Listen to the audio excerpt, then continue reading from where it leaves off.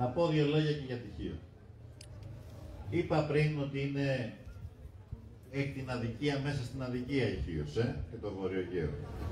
Μέσα σε μια χώρα που είναι αδικημένη σε όλη την Ευρώπη, η περιφέρειά σας είναι η αδικημένη στην ελληνική επικράτεια. Έχει το χαμηλότερο κατακεφαλήν εισόδημα από τις 13 περιφέρειες. Θέλω να πω όμως ότι μπορούμε να κάνουμε πράγματα σημαντικά για τον τόπο σας. Θα θυμάστε άλλωστε ότι εμείς ήμασταν αυτοί που αποφασίσαμε κάτι που λίμναζε πάρα πολλά χρόνια το αεροδρόμιο. Το αεροδρόμιο που έγινε ανθρώπινο και που είναι σημαντικός κόμβος και για τον τουρισμό και για την ανάπτυξη του νησιού. Θέλω να πω ότι όταν φύγαμε το 2019, δεν θέλω να ισχυριστώ ότι είχαμε καταφέρει βεβαίως να λύσουμε τα μεγάλα προβλήματα στην χώρα της υγείας. Είχαμε όμως μέσα σε αντίξωες συνθήκες στηρίξει τα δημόσια νοσοκομεία, βάλαμε 2,5 εκατομμύρια ανασφάλιστου στη δημόσια υγεία, καταργήσαμε το 5 ευρώ για την εισαγωγή στα εξωτερικά γιατρία, ανορθώσαμε τους προπολογισμού των νοσοκομείων που δεν είχαν ούτε γάζες να αγοράσουν τα δύσκολα μνημονιακά χρόνια και φτιάξαμε 128 νέες τοπικές μονάδες υγείας γιατί πιστεύουμε στην πρωτοβάθμια φροντίδα υγείας. Φεύγοντας λοιπόν, εδώ το κέντρο υγείας είχε 8 γιατρούς το 19. Σήμερα πόσους έχει, τρεις. Τρεις, αυτή είναι η εικόνα. Αν λοιπόν δεν στηρίξουμε την περιφέρεια, αν δεν στηρίξουμε τα νησιά μας και κυρίως αν δεν στηρίξουμε τις δημόσιες υποδομές, τις υποδομές υγείας, δεν μπορούμε να μιλάμε για δικαιοσύνη. Εμείς εφαρμόσαμε για όλα τα νησιά και για το δικό σας νησί ένα, μια σημαντική μεταρρύθμιση, ένα όραμα δεκαετιών το μεταφορικό ισοδύναμο. Το μεταφορικό ισοδύναμο το ροκανίσανε. Το ροκανίσανε και το απαξιώσανε. Δεν δίνουν τους πληρωμές, το απαξιώσανε διότι βγάλανε σημαντικές κατηγορίες. Εμείς πιστεύουμε στο μεταφορικό ισοδύναμο. Και λέμε ότι όχι μόνο θα το εφαρμόσουμε κανονικά, όχι μόνο θα δίνουμε στην ώρα του τις πληρωμές, αλλά θα το επεκτείνουμε και για τους φοιτητές που είναι σε σχολές στα νησιά που έχουν σχολές και για τους επισκέπτες προκειμένου να αυξήσουμε τον εσωτερικό τουρισμό δίνοντας πνοή στην νησιωτική Ελλάδα και αναδεικνύοντας ότι οι νησιώτες μας δεν είναι πολίτες δεύτερης κατηγορίας.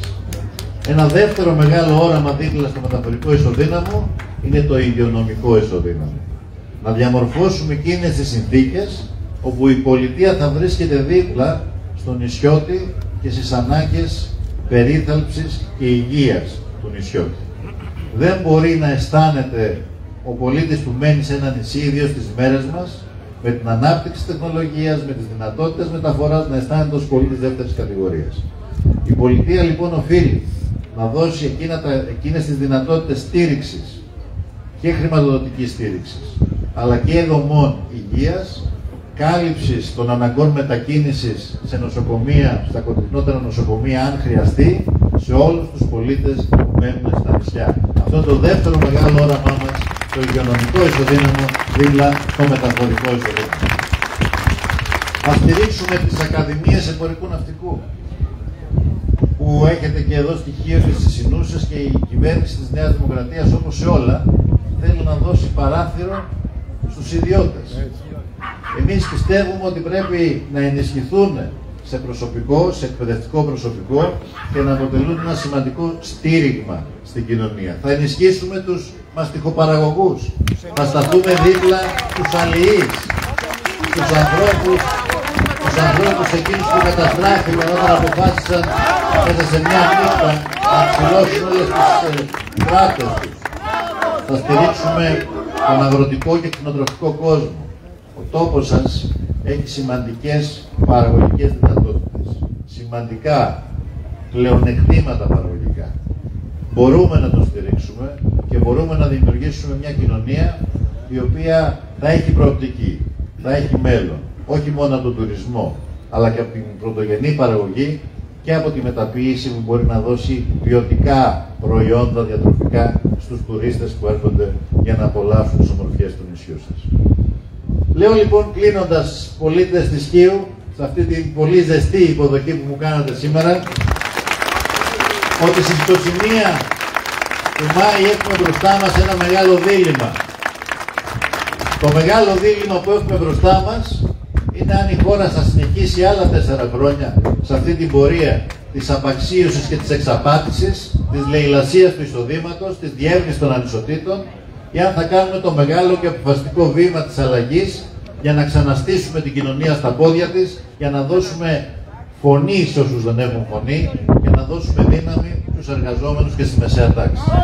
Και το δίλημα αυτό που το είπα πολύ περιγραφικά συνοψίζεται σε μία μόνο φράση. Στην κάλπη στις 21 του Μάη το δίλημα είναι Μητσοτάκης ή αλλαγή. Εμείς λοιπόν πιστεύουμε ότι η μεγάλη συντηρητική πλειοψηφία των πολιτών έχει αποφασίσει αλλαγή και μια προοδευτική κυβέρνηση συνεργασίας που θα στήσει ξανά την κοινωνία και την οικονομία στα πόδια. Οι εκλογές με απλή αναλογική δεν είναι εκλογές χαλαρής ψήφου. Οι εκλογές με απλή αναλογική ήταν το δικό μας όραμα για να έχουμε δικαιοσύνη και στην ψήφο. Ό,τι ψηφίζει ο πολίτης να τα ανακλάται και μέσα στο κοινοβούλιο. Μας έλεγαν κάποιοι ότι είχαν αυτοδύναμες κυβερνήσεις, αλλά μειοψηφικές. Δεν είχε καμία κυβέρνηση πάνω από 50%. Ήταν όλες μειοψηφικές. Τις βαφτίζαν αυτοδύναμες. Πολλές από αυτές ήταν και πολύ αλαζονικές και μας οδήγησαν στην χρεοκοπία. Τώρα λοιπόν έχουμε την ευκαιρία για αυτή τη μεγάλη αλλαγή και στον τρόπο διακυβέρνησης. Προσέξτε όμως. Απλή αναλογική και ισοτιμία της ψήφου δεν σημαίνει χαλαρή ψήφος. Γιατί οι εκλογές αυτές θα βγάλουν κυβέρνηση, θυμηθείτε το. Άρα λοιπόν ας το έχουμε στο μυαλό μας. Χαλαρή ψήφος σημαίνει Μητσοτάκης, σημαίνει αστροκέρδεια, σημαίνει αδικία, σημαίνει διαιώνιση των μεγάλων ανισοτήτων, αυτού του δράματος που ζήσαμε τέσσερα χρόνια. Άρα λοιπόν πρέπει να έχουμε στο μυαλό μας και ιδίως νέοι άνθρωποι, τα νέα παιδιά, 17 με 22, 17 με 21, αυτοί που δεν ψηφίσανε την προηγούμενη εκλογική αναμέτρηση είναι πάνω από 450.000. Να έχουν στο μυαλό τους ότι η πιο ισχυρή ψήφος διαμαρτυρίας είναι αυτή που θα πονέσει το σύστημα. Είναι αυτή που θα πονέσει το κατεστημένο.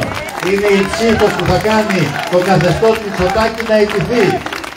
Και τα πράγματα είναι απλά. Ήτα του Μητσοτάκη και της Νέας Δημοκρατίας σημαίνει νίκη του ΣΥΡΙΖΑ. Πάμε λοιπόν με αποφασιστικότητα για μια μεγάλη νίκη στις 21 του Μάη. Πάμε στην κάλπη. Δυο-δυο. Τρεις-τρεις. Να πάρουμε τη την νοοτροπία πάμε να ρίξουμε την ψήφο, το βόλι της αλλαγής για μια καλύτερη μέρα, για μια καλύτερη ζωή για τον τόπο. Και είμαι βέβαιος μετά από αυτό που βλέπω σήμερα εδώ στην Κίο ότι θα γίνει πράξη η αλλαγή στις 21 του Μάη. Να είστε καλά. Σας ευχαριστώ θερμά για την υποδοχή σας, για την παρουσία σας. Καλή δύναμη και καλούς αγώνες και με την νίκη. Γεια σας. Yeah.